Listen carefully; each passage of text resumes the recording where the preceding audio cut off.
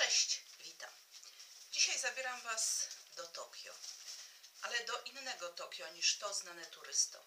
Do Tokio dzielnic czerwonych latarni, ciemnych zaułków, narkotyków, prostytutek, a więc do Tokio, które pożera ludzi, jak mówi autor. A zabieram Was do Tokio za sprawą reportera Richarda Lloyda Parego, który napisał książkę Ludzie, którzy jedzą ciemność. Ludzie, którzy jedzą ciemność, e, to jest reportaż. E, Tę książkę pisał autor e, 10 lat. E, Autor jest dziennikarzem, korespondentem gazet brytyjskich w Japonii, a szczególnie w, właśnie w Tokio. Ten reportaż to jest opowieść o zaginięciu, poszukiwaniu i śmierci młodej Brytyj, Brytyjki Lucy. Lucy miała 21 lat, przyjechała do Tokio w, na wiosnę 2000 roku y, z koleżanką, aby uciekała z Wielkiej Brytanii przed długami, a także pragnęła przeżyć jakąś przygodę życia. I właśnie w Tokio znalazły obie mm, pracę, pracę jako hostessy w dzielnicy Ropponga. Dzielnica Ropponga to jest taka podlejsza e, od innych e, dzielnica Czerwonych Latarni. Było tam mnóstwo klubów dla panów i właśnie w jednym z nich o nazwie Casablanca znalazły obie pracę. 1 lipca 2000 roku, a więc po zaledwie miesiącu pobytu w Japonii, Lucy zniknęła. Koleżanka wszczęła alarm, zawiadomiła policję, jej rodzinę w Anglii, aby wszyscy zajęli się poszukiwaniem Lucy. Sprawa jak wiele innych, bo takie przypadki zdarzają się nie tylko w Japonii, ale również w innych dużych miastach. Ale reportaż mm, tego właśnie dziennikarza e, różni się od innych. Czym się różni? Przede wszystkim skrupulatnością autora. Otóż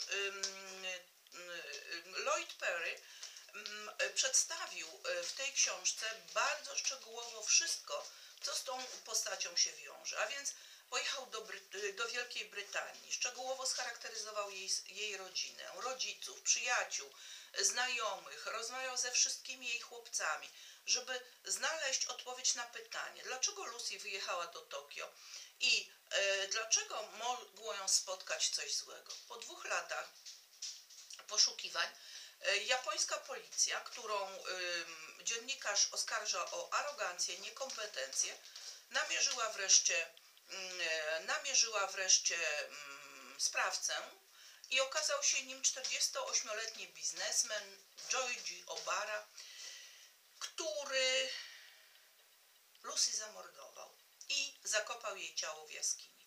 Chociaż słowo zamordował nie jest tutaj do końca właściwe, bo pan Obara bawił się e, w pewną grę seksualną, którą nazywał, zaraz sobie przeczytam tylko, bo to po japońsku było, o, zabawa w podbój. Na czym ona polegała?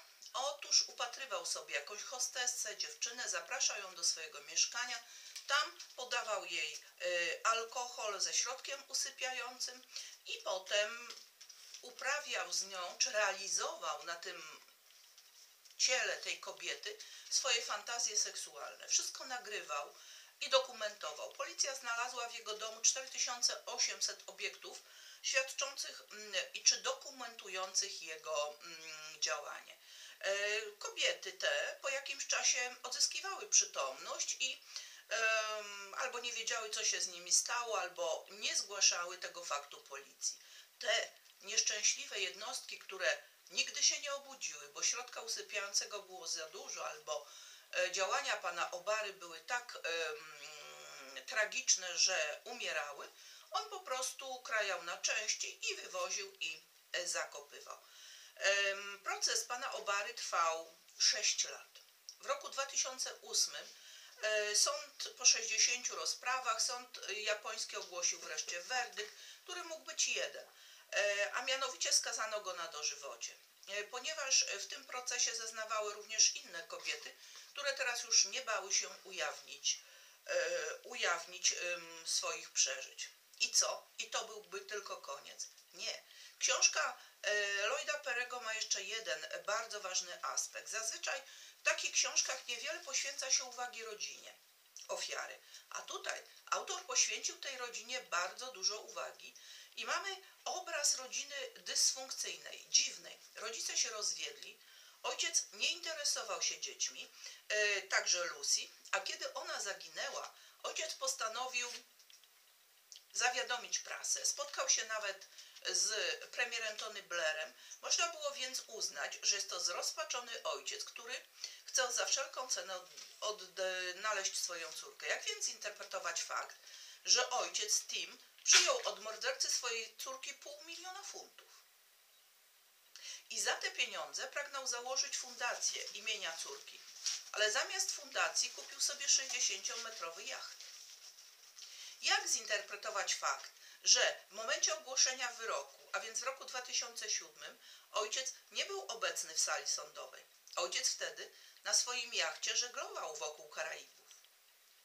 Jak y, zinterpretować fakt, że ojciec wraz z młodszą y, y, siostrą Lucy, ta młodsza siostra potem próbowała popełnić samobójstwo, szczegółowo przygotowywał się do wystąpień telewizyjnych. Umawiali się, kiedy mogą płakać, kiedy należy zniżyć głos, a więc ojciec mm, ugrał bardzo wiele na e, zaginięciu i śmierci swojej córki. Wszyscy, którzy się z nim spotkali, uważali, że on bardzo dobrze bawił się w rolę celebryty. Korzystał z wielu przywilejów, zbił na tym ogromne pieniądze. Co innego matka, która przeżywała e, bardzo tę rozpacz. Innym aspektem bardzo ważnym w tej książce jest również mm, na przykład rozdział poświęcony seksualności Japończyków, którzy mm, do realizacji swoich fantazji na przykład mangi. Pornograficzne mangi to jest coś, bez czego Japończyk nie może się obyć. Jest wiele mm, w tej książce e, takich e, tematów, których nigdzie indziej, których e, nikt inny w reportażach tego typu nie porusza. Dlatego książka mm, Lloyda Perego jest wyjątkowa. Warto bowiem, że tak powiem, mm, no, poznać inne aspekty takich właśnie wydarzeń, jak porwanie i zaginięcie młodej kobiety. Brat Lucy Rupert, który miał 16 lat, tak e, skomentował zaginięcie swojej siostry jej śmierć. Głupia była. Dlaczego polazła z tym facetem? Właśnie. Dlaczego? To stara się również wyjaśnić Lloyd Perry, przybliżając e, nam naturę Japonii, jej obyczaje, e, które, e, w których to ramach tych obyczajów takie zachowanie było zachowaniem naturalnym. A więc ludzie, którzy jedzą ciemność, czyli tacy, którzy w, mm, żyją nocą, kiedy Tokio powinno spać, w takich dzielnicach jest wiele hostes przybywających z zachodu.